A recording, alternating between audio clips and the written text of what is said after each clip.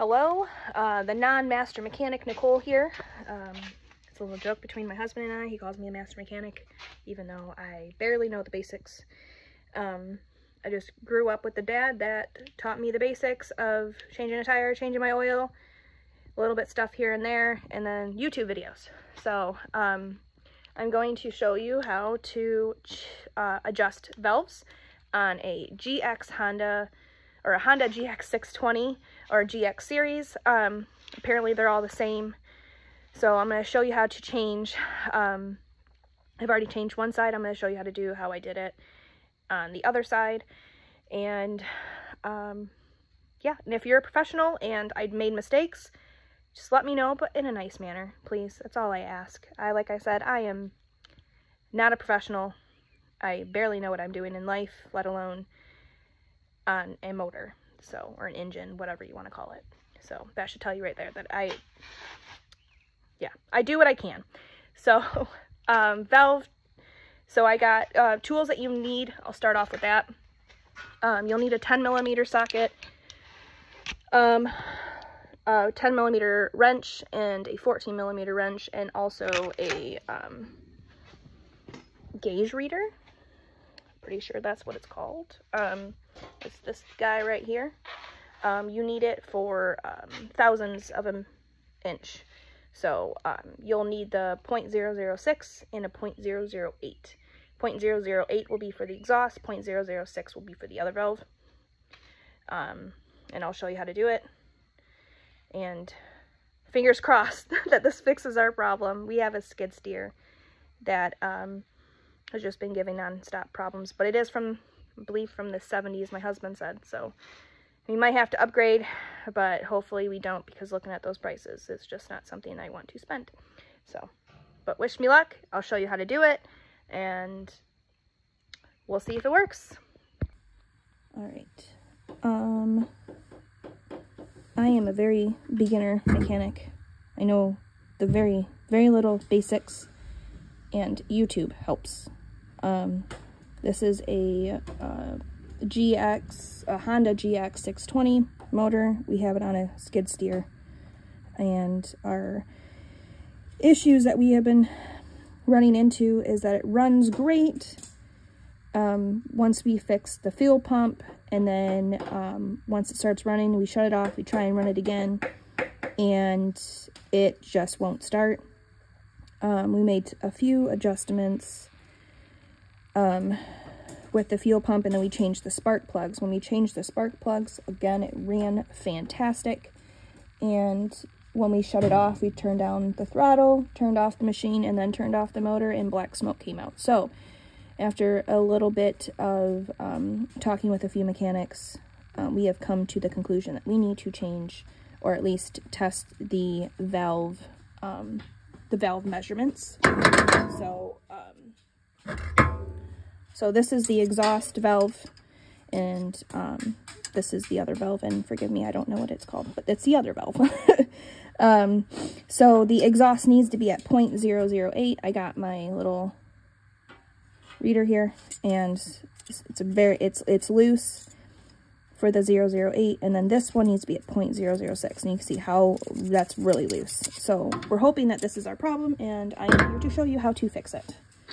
Um, from my understanding, um, GX series has the same measurements and same uh, type of way. I did do the other side already. The only difference is that the exhaust was on this side versus this side, which is not a huge deal. You just got to look to see where your pipe is. you guys can see my pipe right here.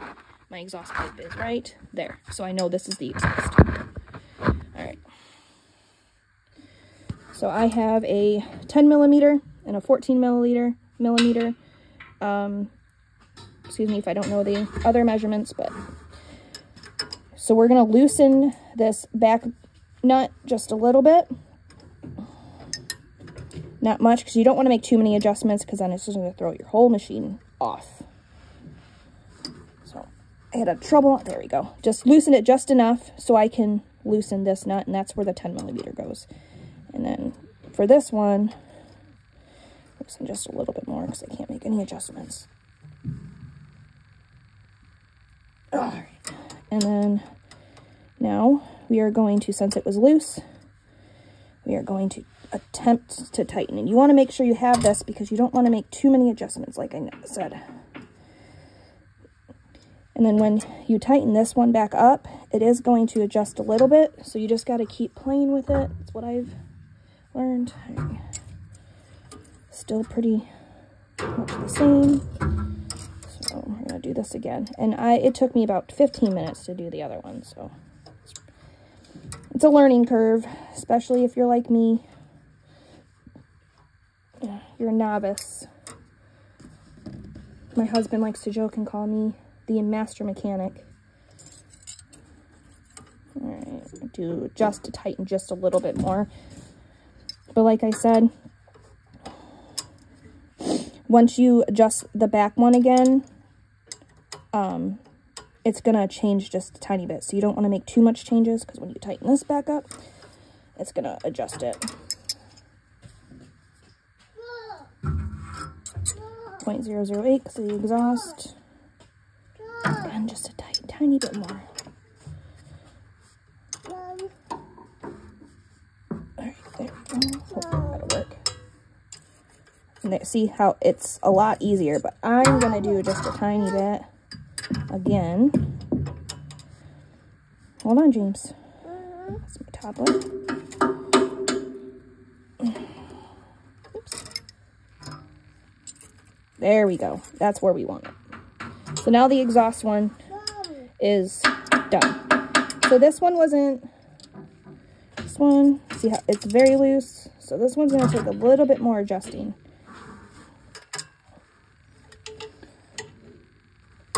All right, was a lot easier to loosen, so it was probably a problem, honestly.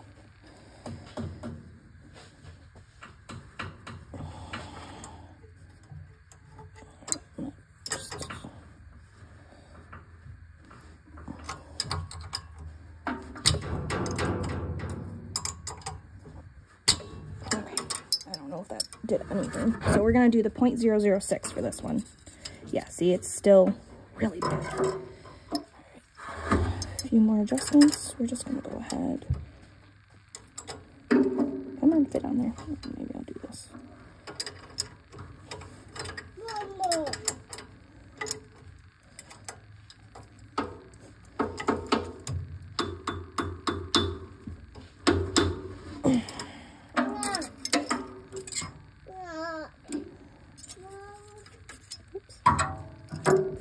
a little bit more.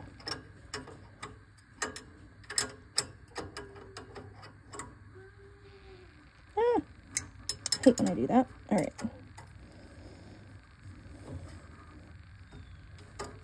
see that. Oh, wrong one. getting better, so just got to make a few more adjustments.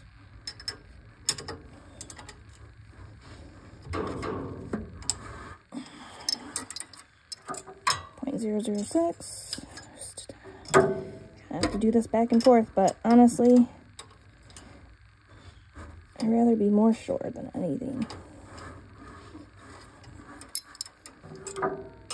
One at a time. Still pretty loose. Oh, apparently I cut myself at some point.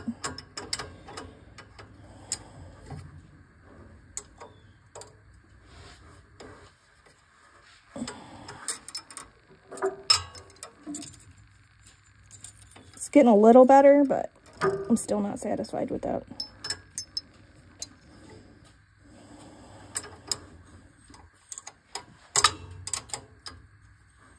And this is, we actually had to change out the motor, I think two years ago.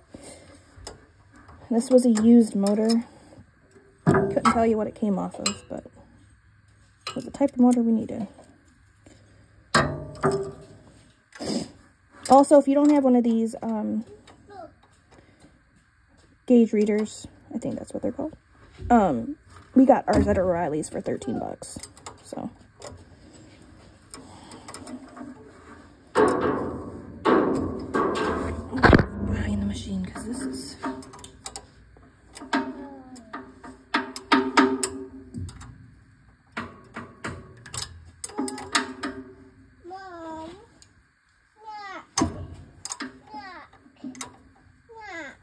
Okay, I'll give you a snack in just a second, honey.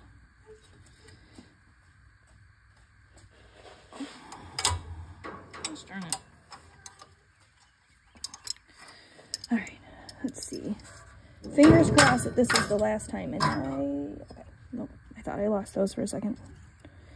That was not the last time.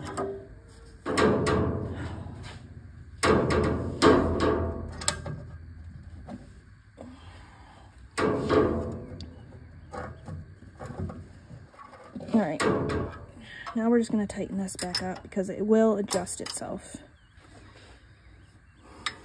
when this is tight.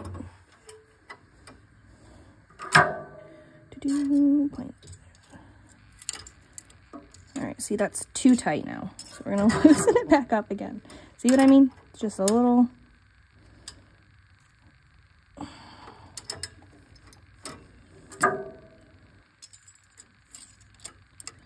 Oh, we're getting closer.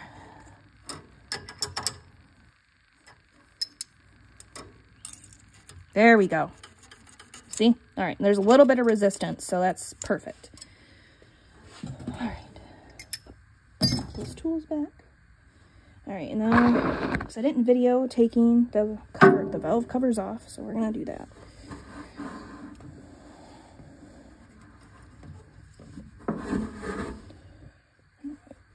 And our, my gasket's good, just an FYI. So I just wanted to show you guys that.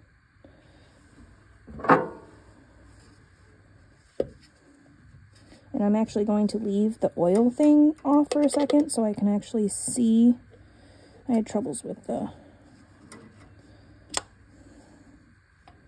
getting the bolt to go in earlier. So, and this is a 10 millimeter 10 millimeter socket. So.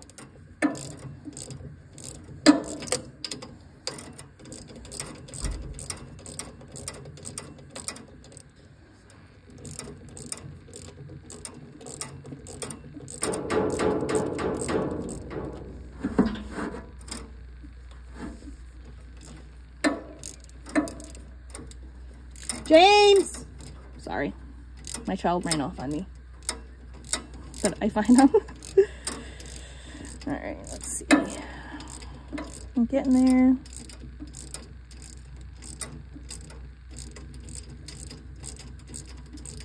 And yes, I could use a longer one, but I have noticed that the shorter ones work because it doesn't hit the exhaust and this thing over here.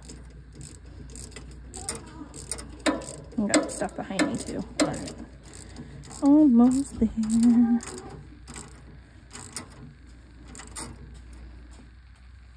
Okay, that's done. Add the oil cap back on. Beep boop. And that is changing the um, valves uh, adjusting the valves. So hopefully that works. We're going to set um, another new pair of um, spark plugs in it and go from there and hopefully it'll work and I will show you guys that in another video. See ya.